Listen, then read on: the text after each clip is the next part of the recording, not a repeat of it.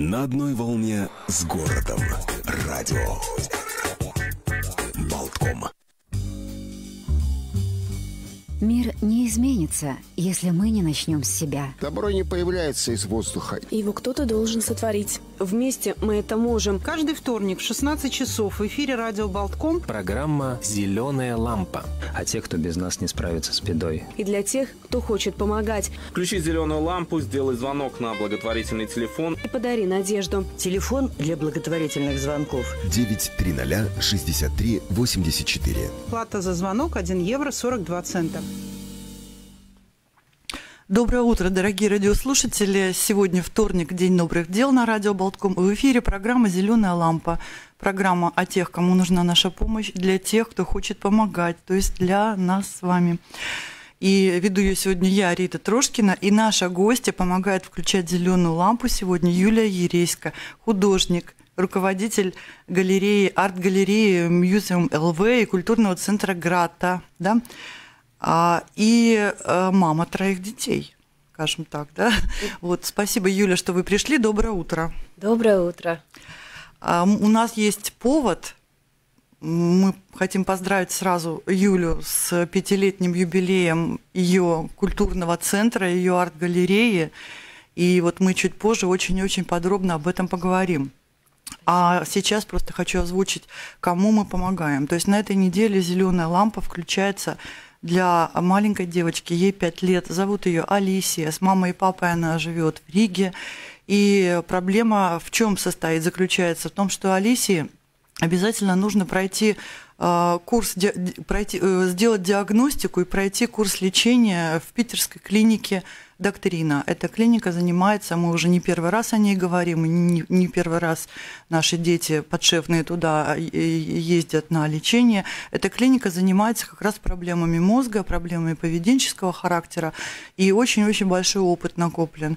Диагностика нужна почему? Потому что у пятилетней малышки Алисии а, диагностированы эпилептические приступы, и очень серьезные. До двух с половиной лет все было хорошо, и все было в порядке, а потом начались вот эти вот приступы. И они настолько сильные были, что она ночью просыпалась по 2-3 часа, как рассказывает мама, могла кричать и плакать, потом измученная засыпала, приступы были днем. Лекарства подбирали разные лекарства, меняли, увеличивали дозы, там пробовали разные способы. Ну и, в принципе, немножко приступы уменьшились, но ничего не исчезло. То есть проблема не исчезла, и это эпилепсия такого вида редкого, что очень трудно подобрать лекарства. А, поэтому очень девочки рекомендуют, и нужно поехать в эту питерскую клинику. Сейчас это сложно, как вы понимаете, сделать, но тем не менее нужно без этого не обойтись, чтобы именно подобрать правильное лечение, правильные медикаменты, потому что это очень серьезное заболевание. И наш телефон 9306384, э, евро 42 цента за звоночек. Всю неделю до следующего вторника будет работать для этой малышки, для пятилетней малышки Алисии. Спасибо вам за каждый звонок, потому что они все, как мы любим говорить, собираются в большую и настоящую помощь, которая имеет свои результаты. Напоминаю, что наша гостья сегодня Юлия Ереська. Юля, ну давайте вот начнем прямо сразу с вашего пятилетнего юбилея. Мы поздравляем еще раз, это буквально только-только состоялось это событие. Как вы отметили, как вы дошли до жизни такой? Спасибо большое за поздравление. А, ну, отметили, как обычно, э, открытием выставки очередной. Mm-hmm. Но она, конечно, такая у нас э, большая, торжественная, безумно интересная выставка, э, персональная выставка Яны Садейнаца. Mm-hmm. Это известный известное имя, да. Фотохудожник, mm-hmm. да, он с вся его фото жизнь Э, связана с, э, со знаменитостями Латвии, и не только Латвии. Он фотографирует, э, делает портреты знаменитых латвийских, латвийских деятелей культуры, искусства. У него в его коллекции есть и поэты, и художники, и певцы, музыканты, политические деятели. Ну, всех, кого мы можем так вот вспомнить сразу, они обязательно будут в его фотоархиве. Угу. Именно к нему обращаются, когда хотят э, эм, сделать э, портрет, который отражает, ну, конечно, и парадный портрет это может быть, но все равно он всегда заглядывает прямо в душу. Мгм. И м, этот проект у нас зрел уже давно. А, Называется о- он Янис Дейнац э, «Времена такое сладкое». Мгм. И в Латвии, в общем-то, это первый проект, связанный с фотопортретами. Э, По всему миру это уже давно известный формат проведения, то есть знаменитые фотохудожники э, э, э, организуют выставки своих э, э, фотопортретов знаменитых людей, которые они фотографировали. У нас, в общем-то, вот мы вместе с куратором Диана Борчевска, это ее была идея, уговорить э, Яниса на такую выставку масштабную, э, тем более, что у него еще юбилейный год до 11 июня, а у нас юбилейный год сейчас Мгм. наступил в галерее. И вот мы это все совместили, и Диана уговорила его сделать именно первую в Латвии выставку фотопортретов. Эм, То есть это фрагменты времени и истории фактически получается. Да, да, совершенно верно. Э, В концепте, в описании выставки э, есть слова именно Яниса о том, что э, как бы его мысли, что для него время это только момент. И вот он э, фиксирует момент, потому что завтра этого момента уже не будет, и его, может быть, никто и не запомнит, а послезавтра уж точно никто не будет помнить. Поэтому он фиксирует людей в тот момент, э, в, в сегодня. Мгм. Завтра они могут быть другими уже. Ну, конечно, да. Поэтому я и говорю, что все-таки это фотопортреты не внешние, не внешности, а фотопортреты души. Э, у Яниса это получается, я просто не понимаю как, но судя по тому, что все медийные персоны, все известные э, личности обращаются именно к нему, все-таки он действительно мастер. Хотя он себя не считает прям вот художником по фотопортретам, он э, говорит, что он э, художник по айнове, по Мгм, пейзажу. мгм. Это действительно так. Это его как бы любовь, его творчество, его душа. Но на самом деле, конечно, его фотопортреты это Ну, мастер, отдельный конечно, вид искусства. Да. Ну вот у вас э, на двух этажах э, размещена экспозиция, да? Э, Более 70 портретов, если не ошибаюсь. Вы знаете, на самом деле там гораздо больше. Больше. У нас только наименований работ 160. М, То есть, конечно, несколько портретов повторяется в разных видах, Мгм. но, в принципе, я думаю, там не менее 140 э, персонажей. А вот вас лично какая работа, может быть, задела, зацепила, поразила больше всего? Так, чтобы встал и остолбенел. Есть такое? Есть такое, конечно, и это работа центральная. А, Это единственная работа, а, а, это единственный человек, который абсолютно неизвестен. Это портрет девушки, которая живет в Балдерае. Мгм. Янис э, встретился с ней на какой-то из э, фотосессий для... Ну, ему часто заказывают фотосессии журналы и какие-то агентства. Вот в каком-то агентстве он ее мимолетом увидел, и он сказал, что это было просто какое-то ментальное озарение. что Вот я хочу сфотографировать э, э, это лицо. И получилось невероятно... эм, вы знаете, что-то между Вермеером, Мгм. портрет, что-то между Вермеером и э, Рубинсом, может быть, вот что-то.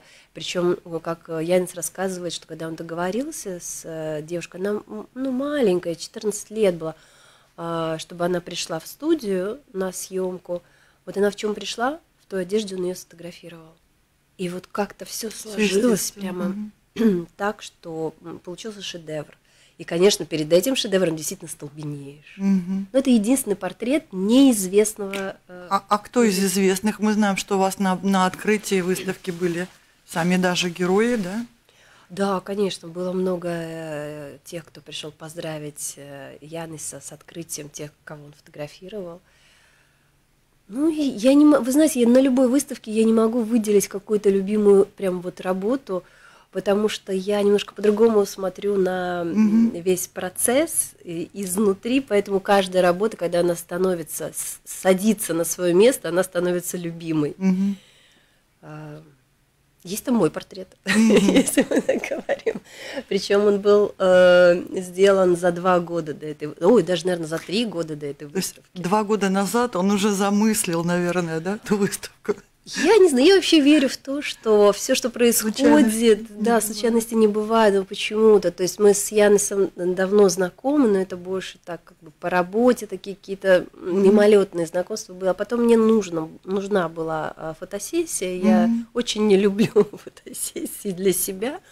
Но вот э, я тоже выбрала именно Яниса, и было невероятно м, интересно и я увидела, как он работает, когда он может что-то там ходить, смотреть в пол, э, чесать голову, э, что-то, а потом так оборачивается, быстро делает фотографию, и все, и снимок готов. Портрет готов.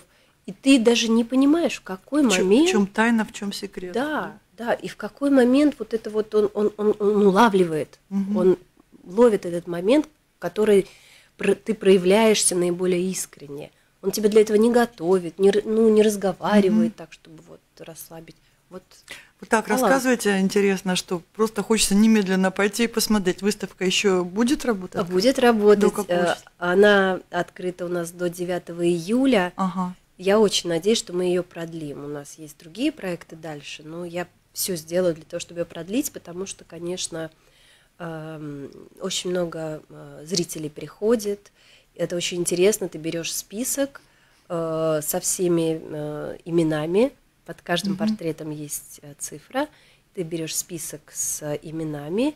И если ты не знаешь, хотя это странно, если ты не знаешь, потому что все очень знаменитые личности, но если ты не знаешь, ну или ты просто сверяешь, тот или нет, или Мгм. Сверяешь имя с портретом, и можно провести час и два, и потом еще обсудить. Давайте адрес там помним радиослушателям. А, галерея музея МЛВ, Андрея Пумпура 2. Это наш, э, я называю культурный квартал Мгм. напротив э, Национального музея и Академии художеств. Академия художеств. И- И, и и сбоку это- радио Болтком. Э, Радио Культура- Болтком. культурное. Да, Да. это следующий перекресток. Этот перекресток буквы Т. Там еще Министерство культуры прямо напротив нас. Так что, ну, Найти легко, это самый те, центр. кто интересуется искусством, они сто процентов быстро найдут. Мгм. Андрея Пумпура 2, галерея музея МЛВ по ступенечкам наверх. Мгм. Это действительно культурное событие в жизни Риги. А вот у вас э, пятилетний юбилей, вот есть, я цифры хочу озвучить, есть э, чем похвастаться и есть чем отметить. 50 выставок, более 50 выставок, 90 лекций, 30 мас- мастер-классов было проведено с известными художниками, искусствоведами. А, и что- Очень-очень эм, значительное посещение на сайте вашем, почти 2 миллиона пользователей, да?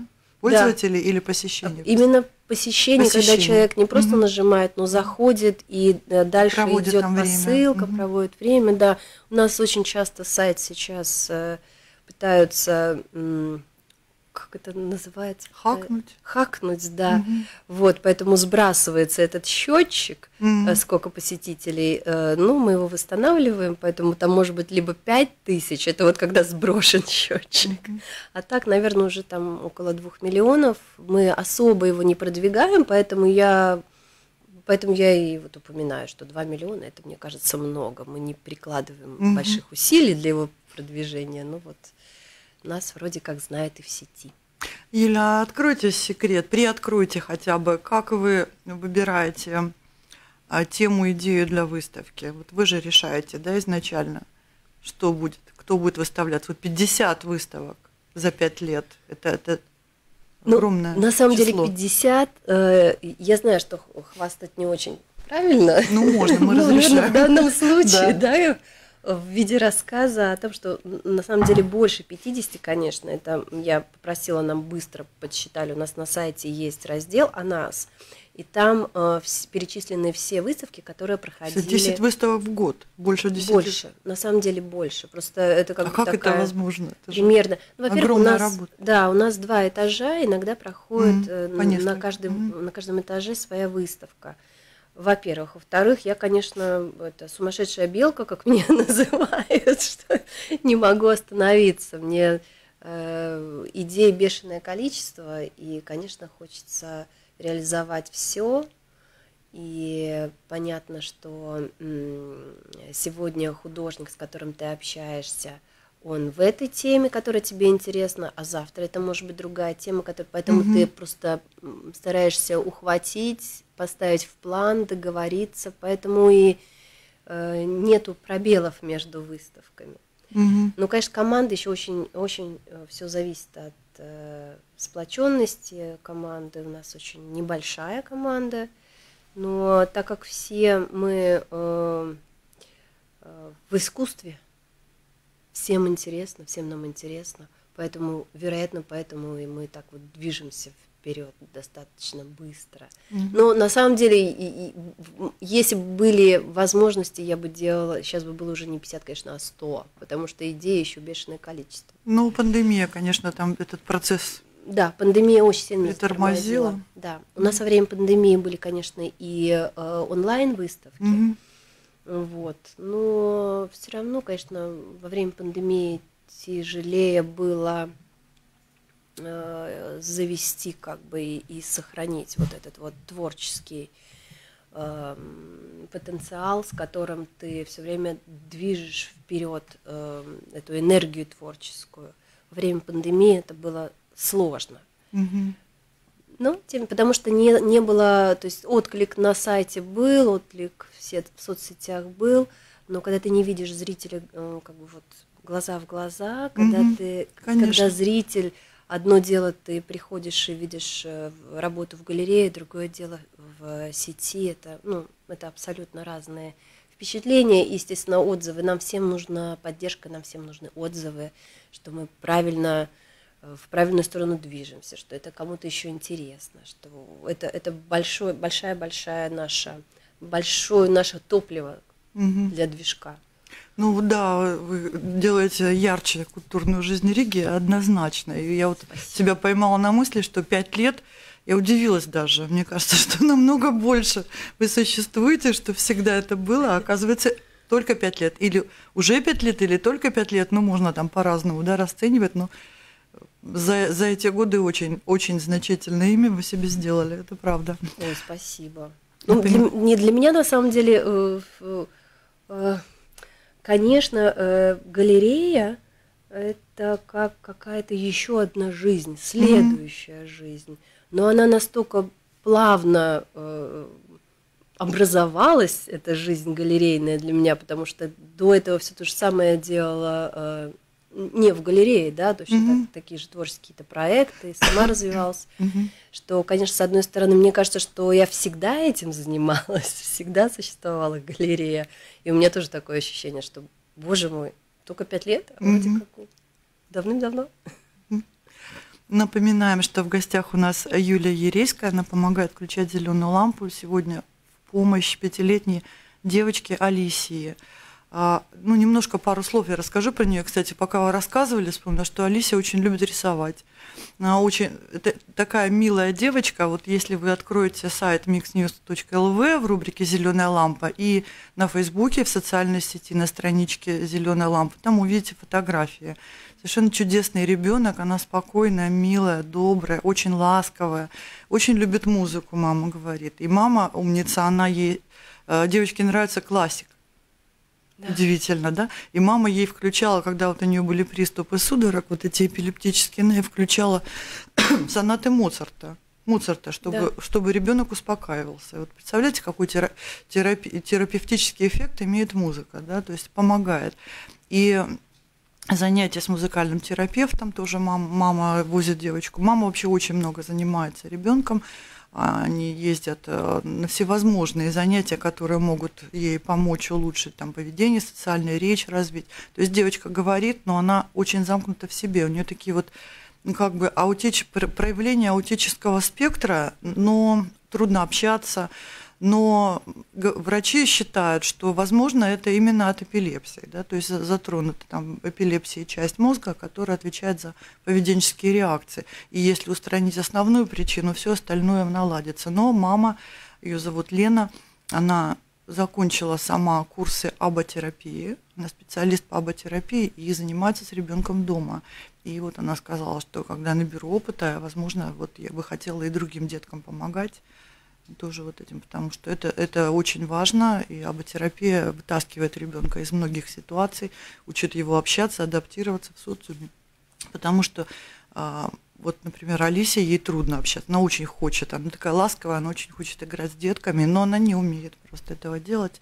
И мама очень переживает из-за этого, и девочка сама переживает. А самое главное, что вот мама, мама сказала, мы спросили, какая у вас мечта, она сказала, я очень мечтаю, ну, конечно, здоровье ребенку, и чтобы услышать от нее осознанную фразу «мама, я тебя люблю». Вот очень хочет. Она сказала, что я бы была счастлива просто.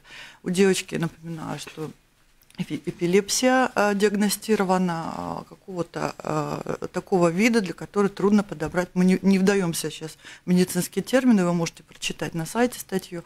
Очень трудно подобрать нужные лекарства. Пока что их не подобрали, поэтому очень нужно, нужно пройти курс диагностики и лечения в Петербургском центре «Доктрина». Все это дело стоит 6 800, это диагностика и два курса. Да? И мы очень все надеемся, что это поможет, потому что хорошие результаты дают, дает эта клиника. Многие детки у нас уже там побывали и возвращались с большими успехами, с большими подвижками. Телефон 930-6384 работает всю неделю для Алисии. И евро 42 цента стоит звоночек – и э, в сотрудничестве с сайтом BeOpen мы работаем, как вы знаете, постоянный сайт, ой, сайт, я уже, простите, с благотворительным фондом BeOpen. Mm-hmm. И благотворительный фонд BeOpen открыл счет помощи для Алисии, чтобы собрать эти деньги. Не только телефон, но если кто-то может помочь более существенно, а родители малышки будут очень благодарны, и мы все тоже, да, и добрые дела вам зачтутся, это сто процентов. Однозначно. Как бы в небесной канцелярии все записывается. Да. Да, и этот счет помощи можно найти тоже в статье. Вот я бы хотела, если это уместно здесь, ну, я думаю, что уместно, потому что у меня есть личный опыт, э, именно связанный с болезнью очень близкого э, э родственника, родного человека. Угу. Я бы хотела со своей стороны акцентировать внимание на помощи не на помощи, ну, на помощи, э, на поддержке э, родным. Mm-hmm. Потому что, э, потому что пережив... мама, папа переживают. Это отдельное, совершенно тяжелое, тоже трагичное эмоциональное состояние в этом состоянии э, родители э, должны еще дать ребенку э, позитивный настрой. Ребенок, в, особенно в таком возрасте, еще не понимает, что происходит. А, то есть, а мама уже понимает с отцом. И для них очень важна поддержка, то есть материальная поддержка, когда она есть, снимает хоть какую-то тревогу и напряжение, mm-hmm. что э, и направляет мысли в сторону того, что ну все будет хорошо, что мы справимся. Но э, еще очень большой фактор э, поддержка друг друга. Mm-hmm. В моей семье была, я рассказываю это первый раз, я особо никому, но просто я не могу не рассказать здесь. В моей семье тоже была трагедия. Эм, моя старшая сестра э, родилась совершенно здоровым ребенком, и вследствие ошиб, ошибки врачей через три месяца после рождения была произведена какая-то манипуляция, которую я не хочу вдаваться mm-hmm. в подробности, то есть совершенно стандартная для всех детей, она проходит без последствий. А для моей сестры, э, родная сестра, Э, для моей сестры это стало диагнозом, который тоже поставили не сразу. Врачи не понимали, что произошло. но в итоге все вылилось в то, что у сестры э, диагностировали воспаление мозговых оболочек, и это называется...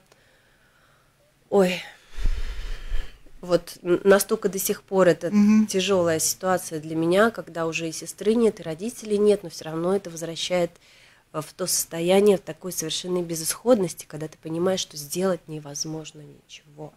Что бы ты ни делал, ты можешь только держать себя в руках, угу. ты можешь делать все, что э, все, что в твоих силах и что выше твоих сил для того, чтобы твоему родному человеку твоему ребенку или моей сестре в данной ситуации облегчить жизнь, потому что э, когда ты понимаешь, что э, жизнь могла быть и у тебя абсолютно другой, и у родного человека абсолютно другой, если бы не эта болезнь.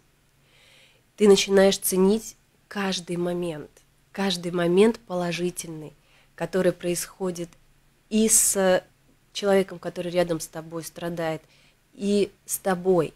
Каждый момент, который приносит тебе хоть какое-то облегчение, хоть какую-то радость, ты ценишь и пытаешься его повторить.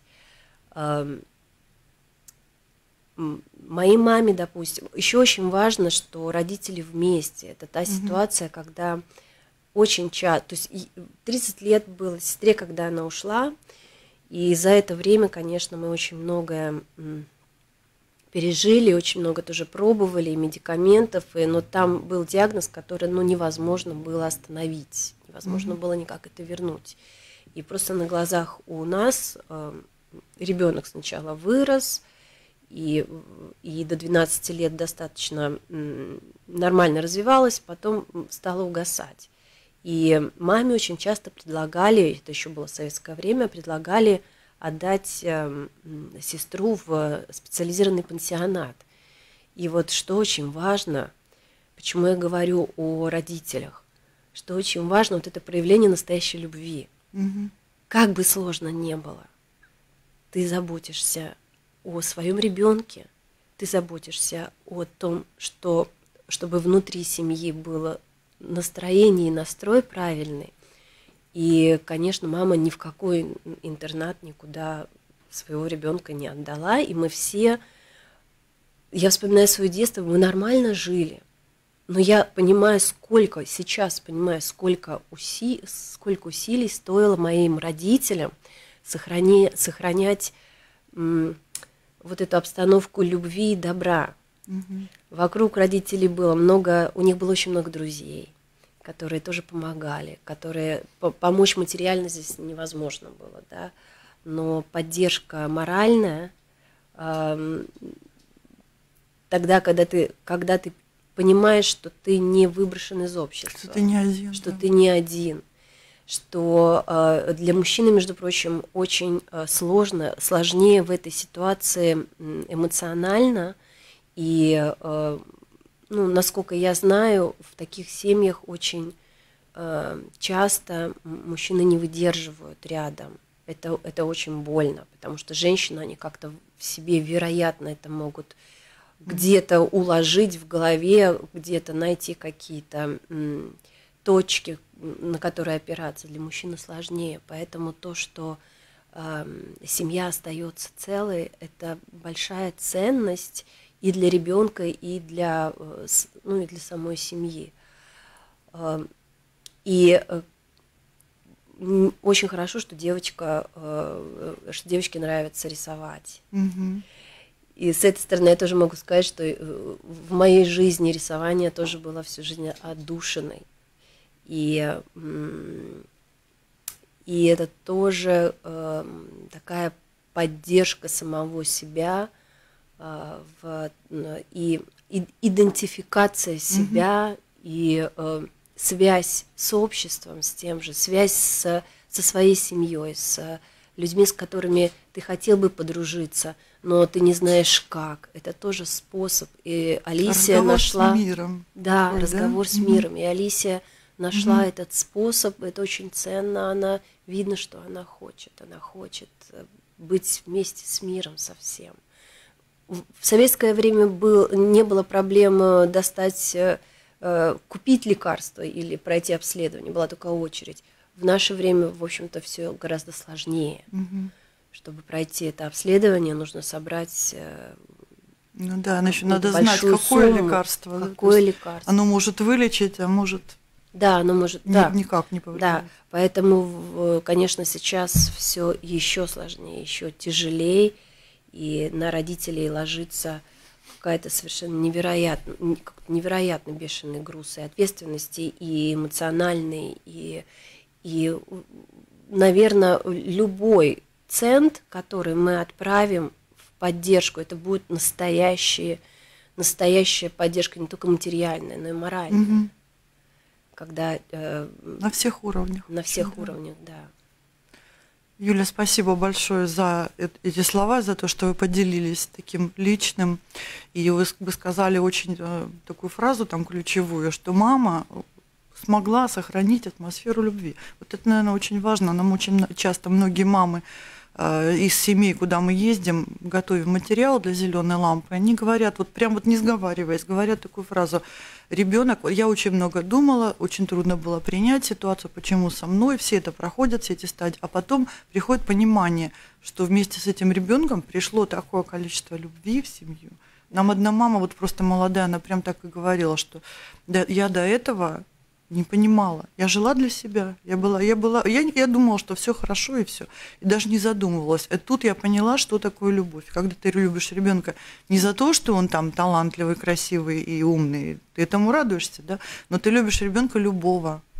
Просто потому, что он есть. И он тебя любит, да. То есть вот это вот ощущение такой м, настоящей, по-настоящему настоящей любви. Ну, проявляются те Мгм. ценности, которые Мгм. в нас вроде бы как и есть, но мы их не, не видим и не умеем Мгм. ими пользоваться, скажем так. А когда ты ценишь каждый момент, проведенный э, в любви, и когда ты его замечаешь, ведь очень важно научиться замечать. И да, ты его начинаешь замечать тогда, когда есть с чем сравнить.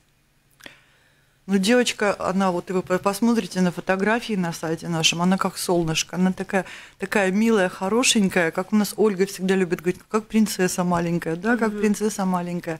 И, и действительно очень ласковый ребенок. Она вот смотрит, она очень мало говорит, она немножко так замкнута в себе, вот, но любит музыку, любит рисование, любит песенки. Люб- любимая игрушка, мы спросили, какая. Мама говорит, чебурашка у нее любимая игрушка. Она поет все эти песенки. Мама ей сама сочиняет, тоже песенки поет. Алисия сама тоже сочинять любит. Вот. И все песни из детских мультфильмов, советских причем. самые добрые и хорошие мультфильмы, типа «Дороги с облаками», Мгм, облака мгм. белогривые лошадки там, и так далее. Вместе весело шагать. Все, светлые песни. все добрые. Чебурашкины вот эти песенки, да, и вот очень, очень хорошая девочка, и очень хочется, чтобы она не страдала, потому что вот каждый звонок, телефон, напоминаю, 9306384, делитесь, пожалуйста, этим номером. Каждый звонок, это вот действительно, как Юля только что сказала, это вклад это не просто звонок, это вклад в жизнь маленького человека. Да? То есть мы можем реально изменить эту жизнь к лучшему. Можем. Да. И давайте пробовать. Не все от нас зависит, от многих факторов зависит. Но вот, кстати, я расскажу, не знаю, как меня мама, мама Лена одобрит или нет, но расскажу такую вещь, э, что э, они крестили девочку, да, крестили, и э, икона Иоанна Предтечи, у них дома такая вот которая их, их домашняя, которая помогает им, да, и они крестили в этот день. И совершенно случайно я посмотрела в календарь вчера и поняла, что сегодня день Иоанна Предтечи.